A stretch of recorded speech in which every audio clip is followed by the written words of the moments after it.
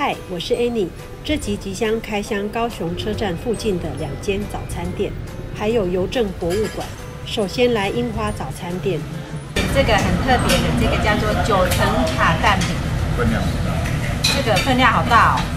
那个蛋饼通常分量不会这样，通常都是大概这个一半饼吧。我觉得这个是他这间早餐店还蛮特别煎蛋饼的方式。它是跟煎馍煎一样的，对，它是一整一整盘，然后再下去切。对对对，它就是用那个圆形那种很大的锅子，然后它就是铺在那个锅锅子上面一整个大的。对，然后我看它好像四五个吧，它好像把它割成四五个，然后就然后就可以同时煎好几种蛋这样。九层塔蛋饼一份是三十五，然后我这个培根蛋饼一份是四十块，欸其实很便宜耶。它这边租金应该很贵，还收这个价钱。我觉得九层塔喜不喜欢是见仁见智，如果有些人喜欢九层塔口味的哦，他就会觉得好吃。对，如果不喜欢九层塔的，可能吃起来他就觉得不好吃，对不对？那我我还蛮喜欢那个味道。嗯它吃起来有一种那个九层塔还蛮特别的那个香气，嗯，还蛮好吃，蛮特别的。我个人也不会排斥九层塔的味道。如果来高雄玩的话，来车站附近呢，不知道吃什么早餐，这间还不错，还蛮推荐的。这是他的菜单。这家早餐店 Google 评论四点五颗星，它的每道早餐分量都很大。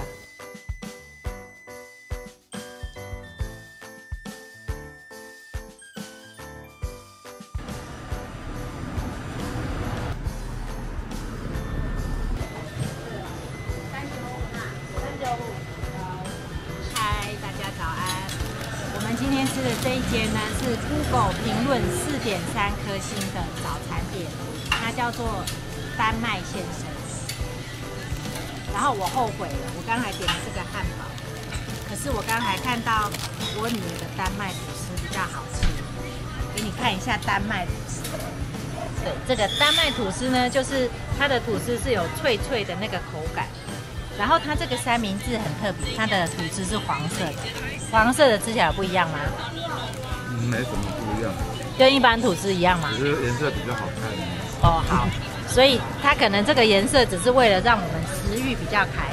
我们今天吃的这间跟昨天那间完全不一样，昨天那间比较传统，昨天那间是比较是传统的早餐店，然后这间呢，它是比较走西式的那个风格哈。这个汉堡的口味其实是还蛮不错的。这间早餐店从那个火车站走过来，大概七分钟左右的时间就会到了。这一家也是还不错的选择。好吃吗？你的丹麦吐司？你给它几颗星？四点五，四点五。好，等一下记得去 Google 写评论，这个不错。几颗星？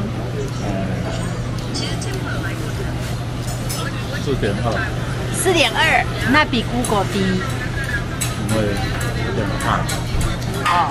所以如果有冷气会比较好，是吧？哦，好吧。这间早餐店的汉堡、吐司还有点心类选择还蛮多的，不过跟我昨天吃的那一家风格完全不同，大家可以参考看看喽。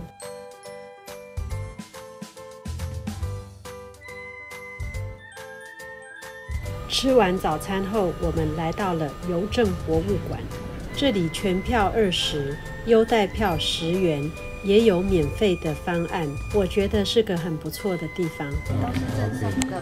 那这个你是说刷这个对，它有橘色感应器，你可以逼它就可以了。OK，对，那信封的话是馆长特别设计的，春夏秋冬。那现在入夏了，我们就是换颜色，哦，会不同颜色哦。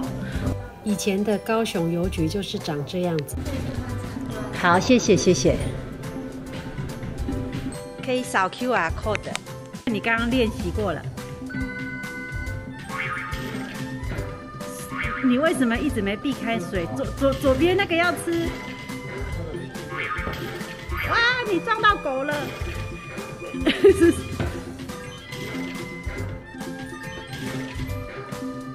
好，油桶要吃。好吃吃吃吃。有有有有有有吃到。好，再来第三关，使命必达。对你过关了，恭喜你。哎哎我。对，有桶要吃。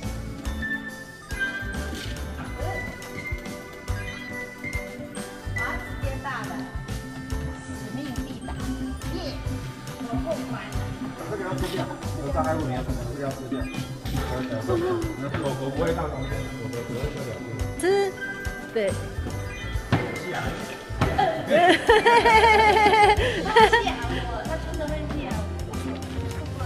这个看起来很新，因为他说才开一年多而已。这里都是邮局的车车。哎，我们上次有去搭，有去看这个对啊，行动邮局这个行动行动邮车这个，我们上次有去看，对不对没？有跟他凑。对呀、现在好像比较没有这种，对，现在现在是下面的对对这种。我们又没有骆驼，以前中国大陆。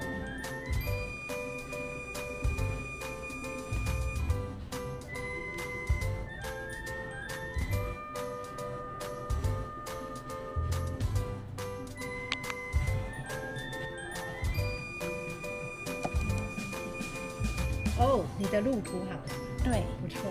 送出 OK。他正在认真找有奖征答的答案。你找到几题了？哦，你快要完成了呢。你看这个光影，很漂亮哎。对，看起来很像，对，是狗狗哎。它是不同时期的。这个好旧，龟形汽车油箱，抗热管动。这是民国四十五年的。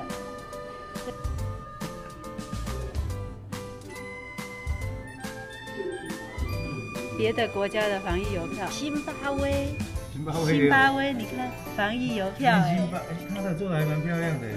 这是奥地利发行的，所以就有这个可爱的大象。这个是吉米邮票，感谢防疫人员留言区，布置这样还蛮温馨的。这个好可爱哦，这是纽西兰的寻找小熊邮票，是在这个海豚上面吗？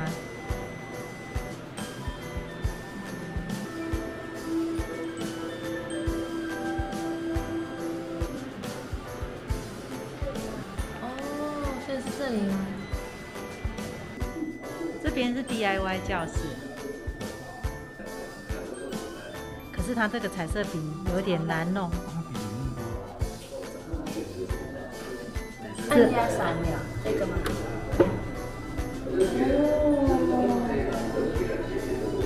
这里，它的在这里，这一只刚才彩绘的，是不是别人彩绘的？下面那个，哦，它是不同国家的邮票，然后就可以抽出来看这样子。芬兰是它的历史。看它是票选第一名哦，这里还有史努比。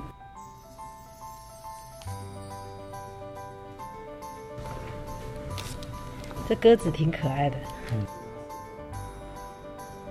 在邮政博物馆的一楼有一间咖啡厅，我们刚逛完博物馆，脚酸了，来这里喝杯咖啡。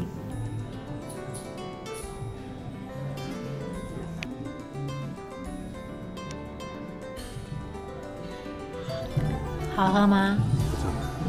对它，我看它的咖啡机是贵的咖啡机。没卖。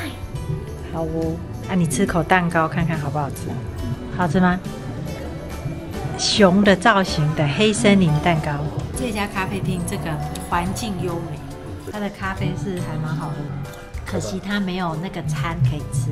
逛完这个博物馆，然后再来这里喝杯咖啡，感觉不错，这样很文青。喜欢我的影片，请帮我按赞、订阅、分享，并开启小铃铛，跟着我一起爱生活。